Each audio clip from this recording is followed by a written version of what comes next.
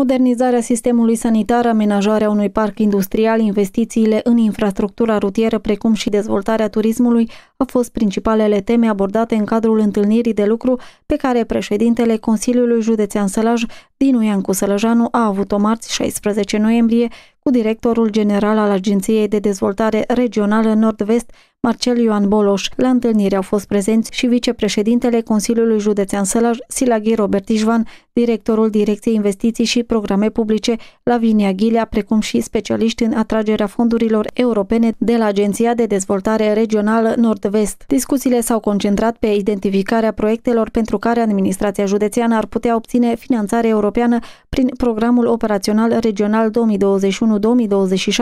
respectiv Programul Operațional Sănătate 2021-2027. Este esențial să profităm de fiecare oportunitate de finanțare pe care o avem la dispoziție pentru a dezvolta sălajul, iar fondurile europene din perioada de programare 2021-2027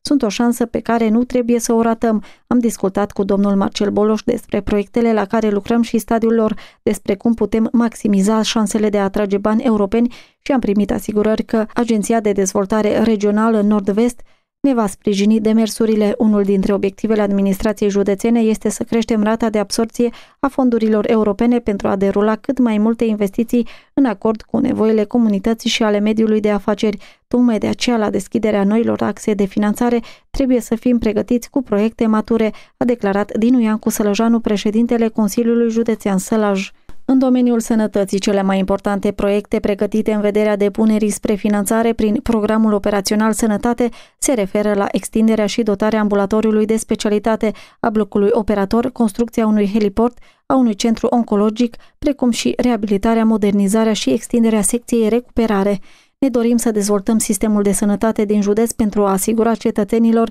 accesul la servicii și proceduri medicale complexe și ireproșabile, în spații sigure, adecvate desfășurării actului medical și dotate cu aparatură de ultimă generație, a punctat președintele Consiliului Județean Sălaj. La capitolul promovarea patrimoniului cultural și a turismului, administrația județeană își propune să acceseze fonduri prin Agenția de Dezvoltare Regională Nord-Vest pentru punerea în valoare a complexului arheologic Orolisum. Un alt proiect important discutat cu reprezentanții Agenției de Dezvoltare vizează înființarea unui parc industrial, o investiție esențială pentru dezvoltarea economică a sălajului. În ceea ce privește reabilitarea infrastructurii rutiere, lista include o serie de drumuri județene, printre care drumul Meseșului, DG108N limită județul Cluj, Petrindu, Tămașa, Cuzăplac, Almașu, Băbiu, Mesteacăn, DG108A, Bogdana, Buciumi, Agrij, Românaș, DN1F. DG108R, DN1F, Treznia Agrij, DG108F, Șimleu Silvaniei, DN1H, Măieriște, Moiad,